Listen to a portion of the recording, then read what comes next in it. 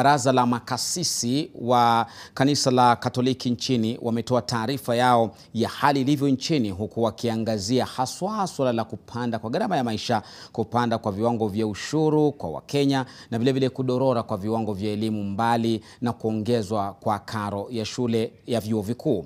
Maaskofu pia wanalalamikia deni la shilingi bilioni moja kwa vituo vya afya vya kanisa hilo linalodaiwa na NHIF. There seems to be a lack of sensitivity in the way the business persons and individuals are being harassed by the KRA officials in view of collecting more taxes. This has also affected people's morale and sense of hope in a better future.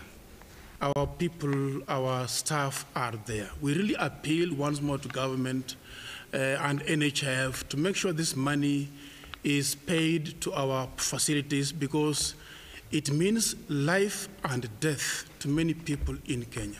It is as serious as that. We are particularly concerned that the people who are affected most by this situation are those in lower income bracket, and especially the poor and the, the, the, and the miserable. This has created an added suffering to the people of already strained by recent COVID-19 pandemic and drought effects.